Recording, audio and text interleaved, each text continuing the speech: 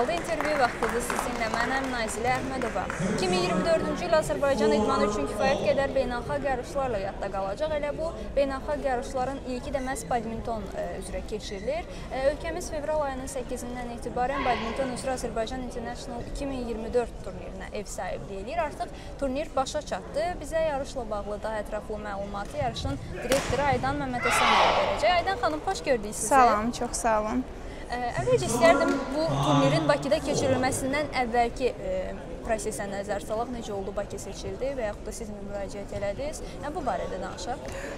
İlk öncə demək istəyirəm ki, 2019-cu ildə artıq bu elit səviyyəli turnir keçirtmişdik. Amma bu il üçün biz özümüz keçən il müraciət etdik Dünya Badminton Federasiyasına ki, bu il keçirtmək istərik və bizə lisenziya verdilər və biz bu il onu keçirtdik.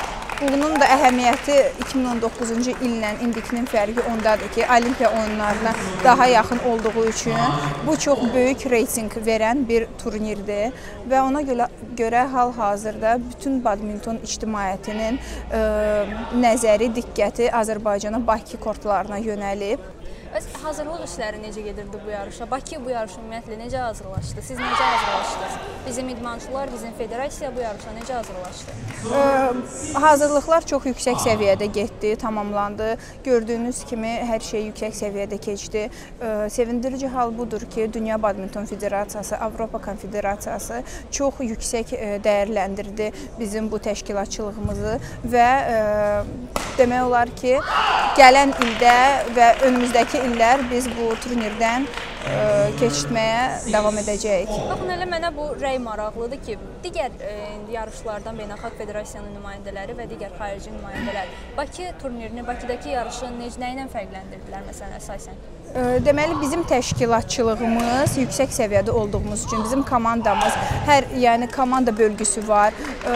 Texniki heyət başqadır, PR heyətimiz başqadır. Bizdə hər bölmə üçün komandalar var və hər kəs öz işini çox gözəl gördüyü üçün, hər şey yüksək səviyyədə olduğu üçün Avropa və dünyadan gələn indiki oyunçular da hər kəs çox razı qaldı və bura qayıtmağı yenədən istəyirlər.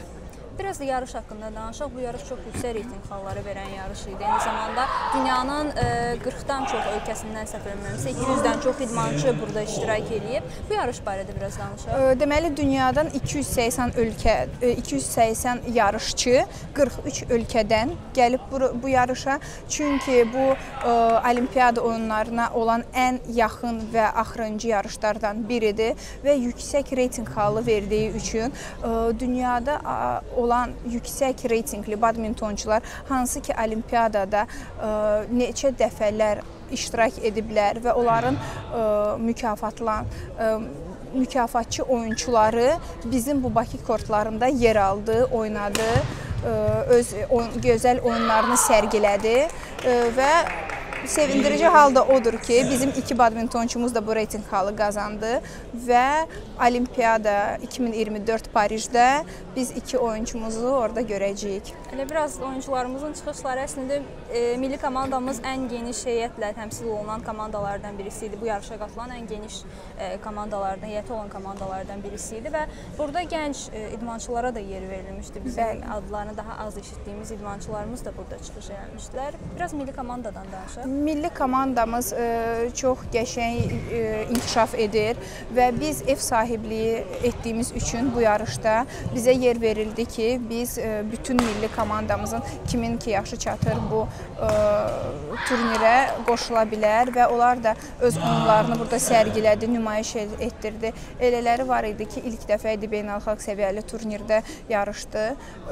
Çox gözəl yarışlar keçdi. Oyunlar çox maraqlı keçdi və ə, oyunların ə, keyfiyyəti çox yüksək idi. Çünki çox maraq var idi oyunlara. Ə, məğlubiyyətlər də oldu, ə, qazananlar da oldu, amma əsas odur ki, gözəl oyun nümayiş etdirdilər. Və biz yarış günlərində gəlirdik bura, tamaşaçı marağı da yüksək idi. Yəni badminton ə, əslində Azərbaycan tamaşaçısına o qədər də tanış olmayan bir idman növüdür əslində, amma ə, burada kifayət qədər tamaşaçı marağı var idi. Biz ə, artıq əmin olduq ki, badmintona sevgi artır günü-gündən və ümid eləyirik ki, və mənim müşahidəmə görə gördüyümüz burdakı marağa görə düşünürük ki, bu beynəlxalq səviyyəli turnir Azərbaycanda badminton artımına artıq təkan verəcək. Bəli, bəli. Eyni zamanda e, mən istərdim qarşıdakı yarışlardan da biraz danışaq. Ölkəmiz göstərdi ki, yəni bizdə belə yarışlar keçirməyə imkan var. Bəs Bəli. bizə yaxın gələcəkdə hansısa yarış gözləyirmi və yaxud da bundan daha böyük bir turnir gözləyirmi? Yarışlarımız çoxdur, amma gələcəkdə olan beynəlxalq səviyyəli turnirlər haqqında indi danışmaq istəmirəm. Təbii ki, biz sizi sevindirəcəyik, amma hələ ki e, bu haqqda Amma imkan, şərait əlbəttə imkanlarımız yüksəkdir, şəraitimiz çox gözəldir. Özünüz gördüyünüz kimi, yəni hər şey yüksək səviyyədədir. Çünki özü də badminton Dünya Badminton Federasiyası, Avropa Konfederasiyası özü bildirdi ki, bizə və yüksək xal verdi. Bu ə, səviyyəli təşkilatı biz qat-qat daha çox səviyyəli etmişik. Çox sağ olun Aydan xanım, təşəkkür Spasibo. edirəm minnətdaram bu maraqlı yarış üçün.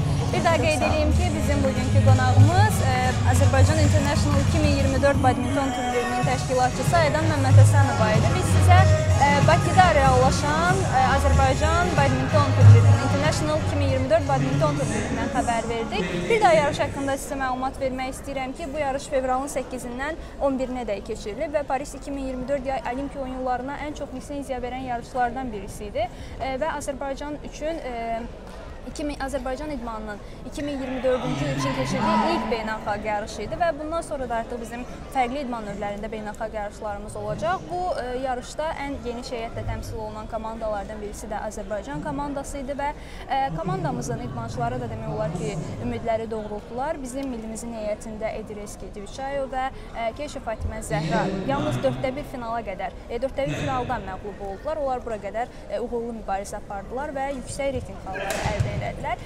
Bizdən bu qədər. Gözünüz realda olsun.